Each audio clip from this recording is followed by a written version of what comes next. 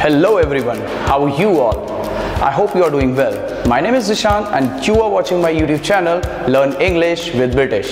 तो आज गाइस हम डिस्कस करने वाले हैं आदतों के बारे में। यस yes, आज हम डिस्कस करेंगे हैबिट्स सो so, जो आज का लेसन होने वाला है वो बहुत ही इंटरेस्टिंग होने वाला है। So please sit back relax and watch my video till the end okay guys जो पहली आदत है आपकी वो है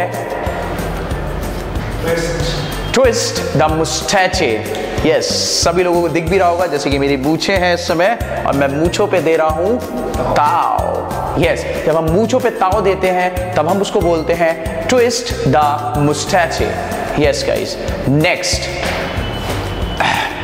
जो नेक्स्ट आपकी आदत है, वो है bite the nails yes bite का मीन्स होता है बेसिकली चबाना कोई भी चीज़। अक्सर देखा होगा लोग नाखून चबाते हैं। तो नाखून चबाने की आदत होती है कुछ लोगों के अंदर तो हम उसको बोलते हैं बाइट द नेल्स राइट अच्छा अगर मैं आप लोगों से बोलूँ एक सेंटेंस को बोलने के लिए सपोज़ मैंने कहा उसके अंदर आदत है। उसके अंदर आदत है नाखून चबाने की। तो कैसे बोलेंगे आप सभी लोग इस सेंटेंस को? यस yes, मैं बताने जा रहा हूँ आप लोगों को इस सेंटेंस को आप बोल सकते हैं he is in the habit of biting the nails. He is in the habit of biting the nails. Nice. Okay, तो next जो आदत है वो है आपकी blink the eyes.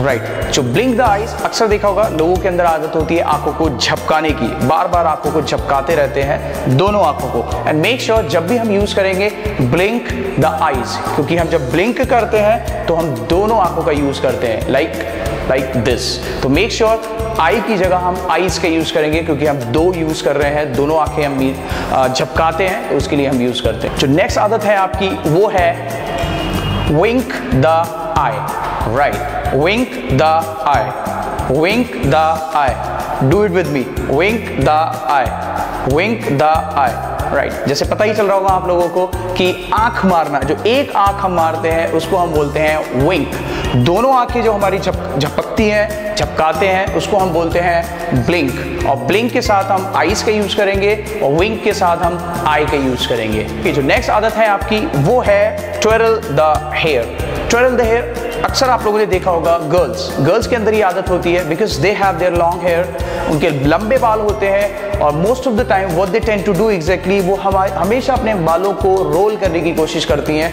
and just try to roll their या curl their hair like like, suppose अगर मैंने कहा कि उसके अंदर आदत है बालों को रोल करने की या बेसिकली जो कर्ल बनाते हैं तो मैंने कहा कैसे बोलेंगे उसको? उसको बोलेंगे she is in the habit of twirling the hair she is in the habit of twirling the hair okay जो नेक्स्ट आदत है वो है आपके लिस्प यस लिस्प लिस्प अक्सर देखा होगा आप लोगों ने बच्चों के अंदर मोस्टली आदत होती है ये। बच्चों के अंदर आदत होती है वो तुतला के बात करते हैं। लाइक like, अक्सर देखा होगा आप लोगों ने अपने आस पड़ोस में बहुत सारे जैसे कि मेरे भी पड़ोस में एक बच्चा है अब वो मैं निकल रहा था तो एक दिन उससे बोला और तल क्या है। मैंने कहा और तब बढ़िया।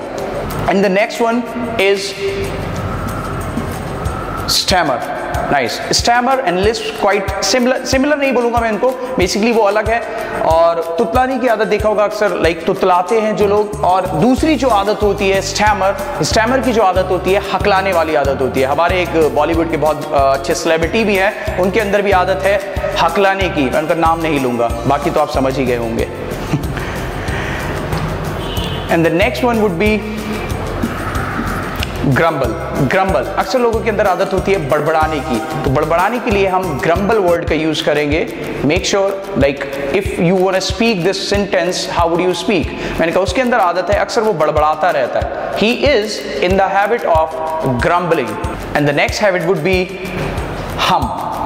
Hum hum जो होता है, हम बेसिकली आदत होती है गुनगुनाना। जब कोई गुनगुनाता है तो हम उसको, हम का यूज़ करते हैं। And most of the time आपने देखा भी होगा, कुछ लोग लाइक दे दे हम समटाइम्स वो गुनगुनाते रहते हैं और लाइक देखा होगा आप लोगों ने तो अक्सर कुछ लोगों की आदत भी हो जाती है। लाइक बैठे हुए हैं कहीं पे भी they don't care about anyone else out there वो परवाह नहीं करते किसी की और जस्ट ट्राई टू हम कोई भी गाना गुनगुनाने लगते हैं। Last but not the least fidget अब फिजिट जो आदत होती है बेसिकली ये आदत अक्सर लोगों के अंदर होती है पैर हिलाने की आदत। अक्सर लोग होता क्या है हेजिटेशन की वजह से या माइट बी समथिंग एल्स वो उसकी वजह से पैर हिलाने लगते हैं, कहीं लाइक बैठे हुए हैं टेबल पे लाइक कुर्सी पे बैठे हुए हैं या कहीं पे भी बैठे हुए हैं और they might be hesitating due to something तो उसकी वजह से उनके पैर हिलते रहते हैं और इसकी वजह से वो लोग थोड़े से नर्वस भी दिखाई देते हैं। तो इसको हम बोलते हैं fidgeting thank you so much guys for watching my video I hope you have enjoyed my video आपने मेरा वीडियो एंजॉय किया ही होगा। अगर आपने मेरा वीडियो एंजॉय किया है तो प्लीज़ जल्दी से जाइए और लाइक बटन को प्रेस करिए। और अगर मेरे वीडियोस आपको अच्छे लग रहे हैं तो प्लीज़ सब्सक्राइब करिए और बेल आइकन को दबाना मत भूलिएगा। और जितने भी लोग आपके सराउंडिंग में उनको जाके शेयर करिए and please keep on sharing and keep on showering your love on me thank you so much